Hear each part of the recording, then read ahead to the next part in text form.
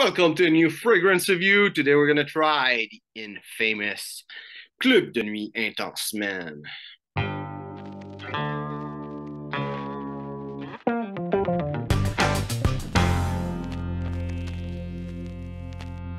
So, yeah, I got the bottle. I got the box, I mean, to show you. I already did the review of the fragrance. It is just revisit of the fragrance. I'm gonna do the same review as usual. It's just one of the first review I ever did. At the time, maybe I didn't know much about fragrance. I didn't have my nose as developed. I'm sure that's through the side of the, the box. But now I think it's time to revisit it. So Club de Intense Man is famous for being a clone of Aventus, though now I'm not quite sure it's the best Aventus clone, but at the time I got it, it was considered by most people as the best Aventus clone. It was not so long ago, actually, maybe two years. So it comes with a little cardboard, at least at the time, that looks a lot like the little cardboard that come with Aventus bottle, but instead of the fragrance is the face of the people behind the Creed.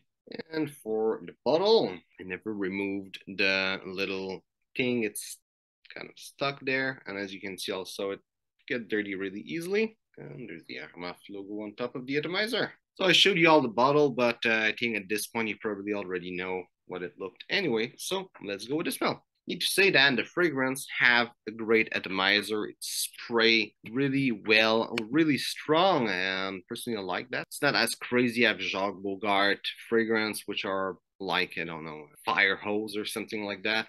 Still, it's a good, strong atomizer. And now spraying on paper, you get a whiff in the air. You probably already know the fragrance is known to be really strong and powerful. As I smell it on paper, picking up a lot of lemon, picking up also a lot of some resin, a lot of birch, which is the resin I'm picking up. You have a lot of pineapple. The lemon is the forefront, but I'm still picking up really easily the other note. I know a lot of people say that the lemon is extremely strong, and I'm gonna come to on my skin uh, what it smells. On paper, like the lemon is strong, but it's not something crazy. Like a lot of people would like to say that it smells like a lemon cleaner or something like that. I'm picking also like a woody note, not like a tree sap note or a resin note, but also a woody note from the birch. Picking up a little bit of apple. There's another fruity note that it's black currant. It's not a note that I'm really used to smell black currant, but I would say that I'm picking it up.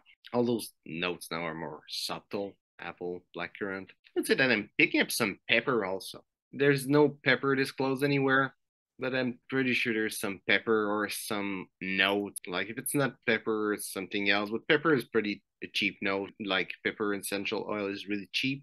It is often used as a blender for citrus note. So it would make sense that there's like a tiny bit of pepper inside of it. And that's about it. And my skin, what I'm picking up. In the top notes, there's a lot of lemon. It's really intense. And there's also a lot of bergamot, but it's not as intense as the lemon, but it's really intense also. Picking up also a little bit of birch, a little bit of pineapple, a little bit of blackcurrant, a little bit of apple. In the heart notes, I'm picking up a lot of birch, and at that point is central note of the fragrance. Also, I'm picking up a little bit of patchouli. In the base note, I'm picking up a lot of birch and a lot of patchouli and a little bit of ambergris. And in the farther dry down, I'm picking up a lot of musk, a bunch of ambergris, and a little bit of patchouli. Projection of the fragrance is really good. About six feet around me, people were able to smell it, and longevity was pretty good, also over 12 hours. And for the complete note breakdown, top notes are lemon, pineapple, bergamot, blackcurrant, and apple. Heart notes are birch, jasmine, and rose. And the base notes are musk, ambergris, patchouli,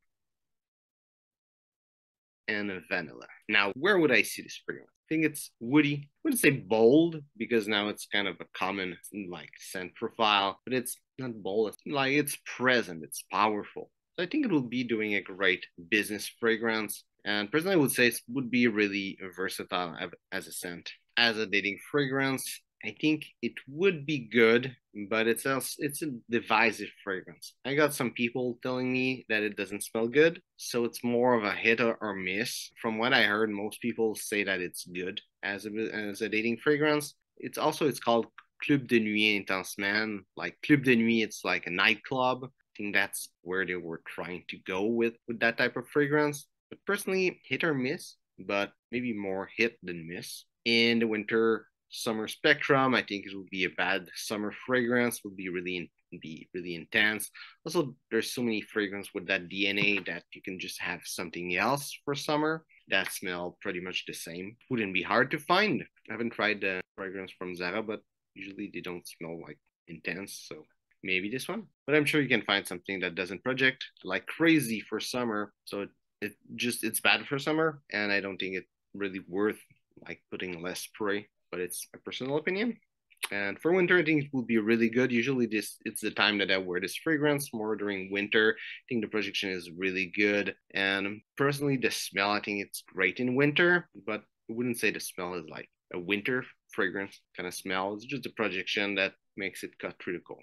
And as an everyday scent, I think it's really intense, but it is a scent that attract compliment that a lot of people would enjoy. Of course, if you do a big 20 spray before going to work, people will probably hate you. And but just like a couple spray before going to work with the scent, people might like notice it, get you compliment, or just like it'll smell nice around people, which is what you want usually in those times. I think it will be doing a great job. You don't need to put a lot. The fragrance is cheap and it lasts the whole day. It's a great fragrance for everyday fragrance. It will be a really great versatile fragrance if you look for something cheap that you can wear to any occasion. It will be great. Also, if you want one fragrance that kind of fills all the gap you might have with other fragrance, it's great fragrance. Overall, I think it's great. I know some people hate it, and it's all right, but it still smells good.